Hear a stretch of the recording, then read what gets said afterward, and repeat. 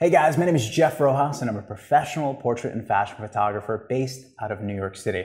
Now, if you're like me, you've ever seen a slight variation between the way that your photos look on the back of your camera compared to what they look like on a computer, then it's time to learn something called color management.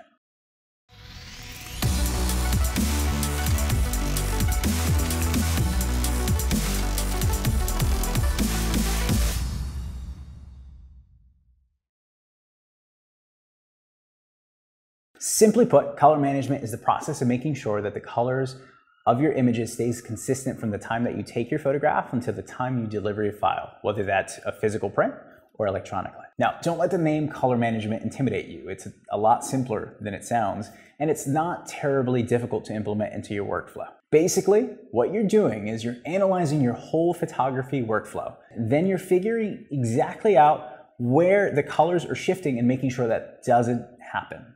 To make it a little easier to understand, I divided the whole topic of color management into four short videos. An introduction to color management, which is what you're watching now, color management as it applies in the studio, color management while you're editing, and color management as it applies to delivering your file, whether that's going to be a physical print or electronically.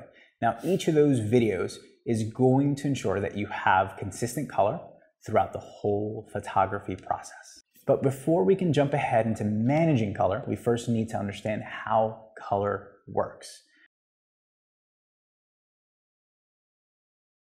To the human eye, color is depicted as a combination of red, orange, yellow, green, blue, indigo, and violet. Everything we see as human beings is a combination of these seven colors, and most visual media, like TVs and monitors, display colors as a mixture of red, green, and blue, while most printers print things in cyan, magenta, and yellow.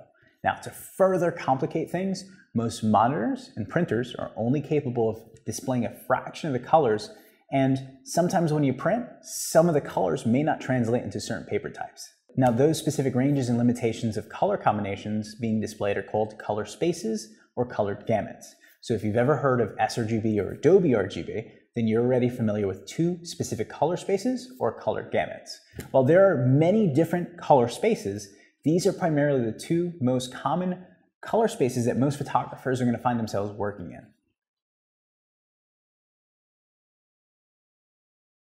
This is a chart of the lab color space. And the lab color space is a representation of what the human eye can see. If we isolate the spectrum of colors that sRGB is made up of, we can see that there's a specific amount of colors that are limited into the spectrum of available colors.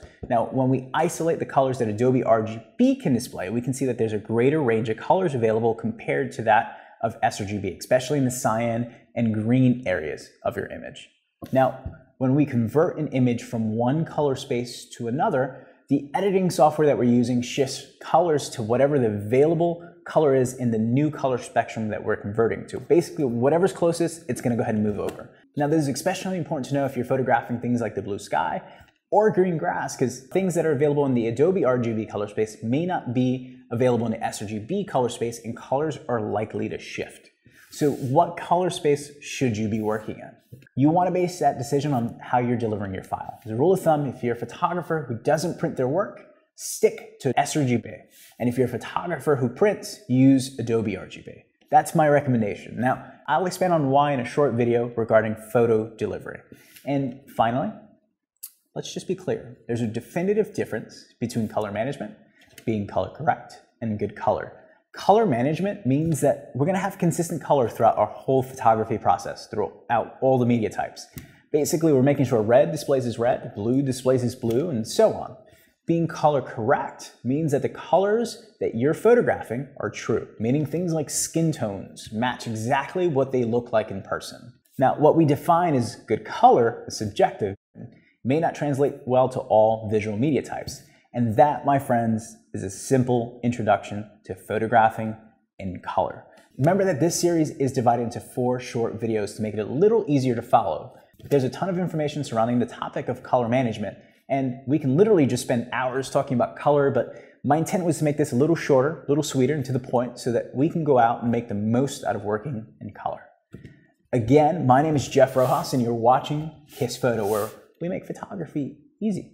Now, thank you for watching my video. If you enjoyed the video and you're watching it on Facebook, please share it with your friends. If you're watching on YouTube, please subscribe to my channel. Until next time, have a great day.